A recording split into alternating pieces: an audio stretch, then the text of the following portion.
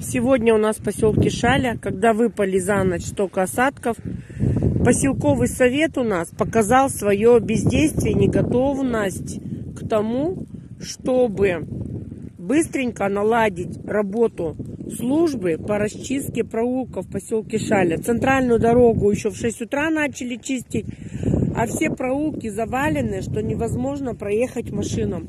Приходится людям, те, которые едут на работу, грести вручную все проулки. Потому что передвигаться по такой дороге на автотранспорте, да и пешеходам очень тяжело. Поэтому обращаюсь к главе поселка, хватит спать. Хватит спать. Начинайте действовать.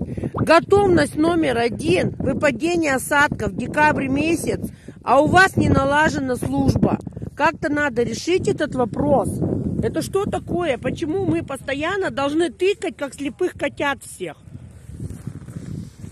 Я понимаю, что мне никуда ехать не надо, и можно свою поездку отложить, допустим, в город за товаром.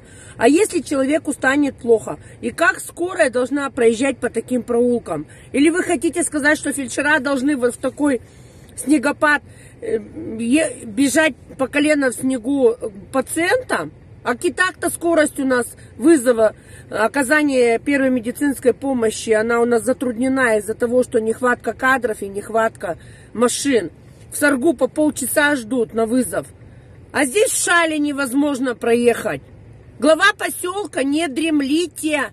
Готовность номер один снегопад. У вас должна была быть еще обозначена воскресенье. А сегодня понедельник и невозможно пройти по проулкам поселки Шаля.